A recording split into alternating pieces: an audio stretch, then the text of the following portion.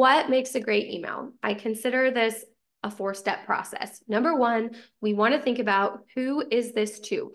You do not need to email every single person in your database the same content. You can segment your database based on who you serve um, and who your audience is made up of, and you can deliver content specific to that audience. What is the result or goal I'm looking for?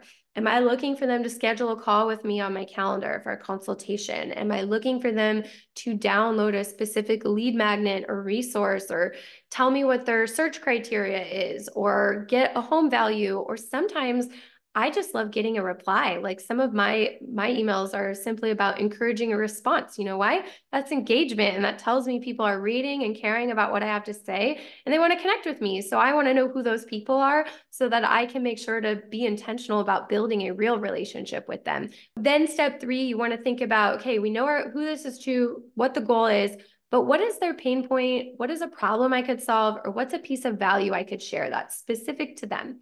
And then step four is how can I solve this problem or share this value by standing out? The whole purpose of this is that you stand out. Every single real estate agent, I won't say every single, most real estate agents that people encounter are giving the same boring messages. Here's the just solds, Here's the just listed. Uh, anytime is a great time to buy. That is so annoying, right? People want to work with someone who is relatable, they're approachable, they're savvy, they're out of the box, they're creative, um, they're transparent. So the way that you do this is not by always telling people it's a great time to buy. You want to think like, what are some unpopular opinions?